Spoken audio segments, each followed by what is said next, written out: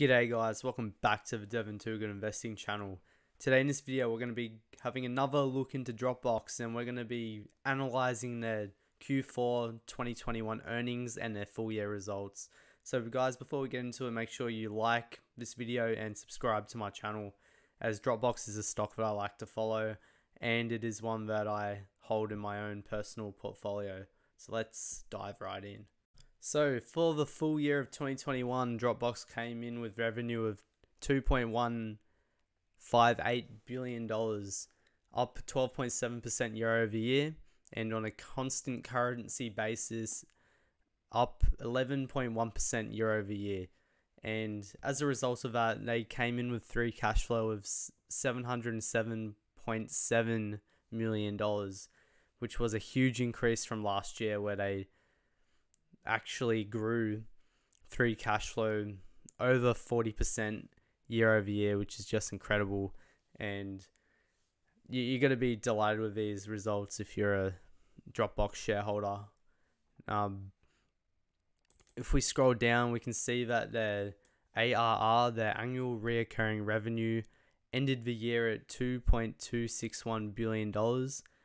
And they just keep increasing this 10% double digits year after year after year, which is you know if you're looking for a business that is consistent and pretty much always delivers, uh, I really do think Dropbox is that business, and we can see other key metrics here. The paying users ended the year at 16.79 million users as compared to 15.48 million users in the same period last year. So pretty much quarter after quarter, Dropbox are adding very consistently 300,000 new paying users every quarter. And on top of that, every quarter they're also increasing the average revenue per user, uh, otherwise known as ARPU, and now it's sitting at 134.78 uh, $134.78 per user, which is up modestly from last year. Can see that they've also expanded margins over last year, which is great to see. Gross margin is now sitting at 79.5% compared to 79%. And then the uh, non GAAP gross margin is actually uh, 0.8% higher than previous year. So, you know, every every metric is getting better. That's what we like to see. And then also GAAP operating margin is sitting at 12.4% and it was actually negative last year. But the non-GAAP operating margin is at almost 30%. So they've grown that quite a lot as well. No surprise there. The next lot of big news that will delight shareholders is they have been authorized to repurchase another $1.2 billion of their stock. This is actually quite a considerable amount considering that Dropbox right now is trading at $9 billion. So it's well over 10% of their stock that they could repurchase with this um, repurchase agreement. So that's going to be really great to see that share count decrease over time. And we'll get, we'll, we'll talk about that more later in this video. I think this slide here really exemplifies Dropbox's business. So people say, oh, yeah, like, you know, it's a slow growth cloud company, but you know, it does. It's not growing at thirty percent or even twenty percent like some of these other businesses out there. But just look how bloody consistent it is. Just double digit growth year in year out. It's very linear. They're expanding their margins. Their operational efficiency is increasing. They've gotten rid of a bunch of their physical real estate, which is as a result increasing their margins. They're expanding their ARPU, which is also increasing their margins. We can see if we come to this slide here, their annual recurring revenue is consistently increasing at, you know, $50 million approximately each quarter, every quarter. Same with the paying users, they're adding 300,000 more paying users every quarter. And pretty much every quarter, the ARPU is increasing you know around 70 cents to a dollar consistently quarter in quarter out which look, it, it makes it very easy for someone like me to come analyze a business and you know make a prediction on where uh, you know revenues and free cash flow and paying users will be out in the future, which is it, it makes it makes me have higher conviction in my valuations. And as such, Dropbox have actually raised their long term margin targets. So before this non GAAP gross margin, they, they were targeting 78 to 80%, but now they're targeting 80 to 82%.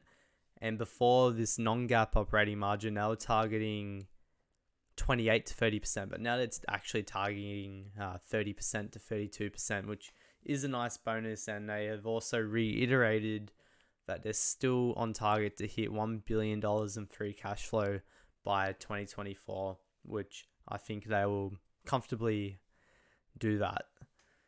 And that's one of the big reasons why I was investing in Dropbox. I saw that, hey, they were going to grow free cash flow insanely quickly due to their expanding margins and that they were just getting rid of a lot of operational costs that they didn't really need. And at the same time they've been buying back a bunch of shares. So and also the market's just been severely like undervaluing uh you know their their business just in general. And we'll have a look at it right now. All right. So now it, for the valuation I've put in a $1 billion in 2024, 2024 free cash flow and here I've estimated what I think their shares outstanding will be so as of Q4 2021, they had shares outstanding of about 386.5 million shares. And I should probably share with you how I got 321 as my estimation. So,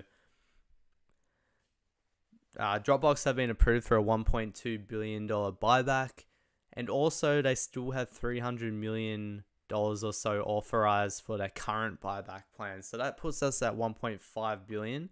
So if we go 1.5 divided by their current market cap of approximately 9 billion, with this, they're going to be able to purchase back about 16.67% of the shares. So then if we take the current shares, so 386.5 and times it out by 1 minus uh, 0.167 like that. That gives us our shares right here so you can see these numbers are pretty much the same so this gives us our 2024 shares outstanding and then if we factor in a free cash flow multiple in 2024 of 15 which by the way is fairly conservative and well below the historical multiple average for free cash flow that brings us at a price target of $46.59 per share. And if we run a CAGR out on that, that gives us a 28% per year return. So just to confirm with you guys, this here is the historical market cap to free cash flow multiple that his that Dropbox has historically traded at, and this data goes back to September of 2018, and you can see the mean is 20.77 times. And right now, actually, we're at the lowest Dropbox has ever traded in terms of market cap to free cash flow at 12.3. So even if we were to assume that, you know, we just stay at 12.3, that's still a 19% CAGR. And, you know, if we get back to the historical average of 20, you know, that's we're, we're looking at a $62 share price with a 41% CAGR. Um, it would take quite a bit of work to get back up to that multiple, but I think 15 is pretty fair and 28% is insane return, especially given that I'm pretty damn confident Dropbox can uh, meet these targets. It's just a matter of the market waking up to themselves and recognizing what's here. So good thing I'm here early. Um, but yeah, guys, if you enjoyed this video, make sure you like and make sure you subscribe, and I'll see you in the next one.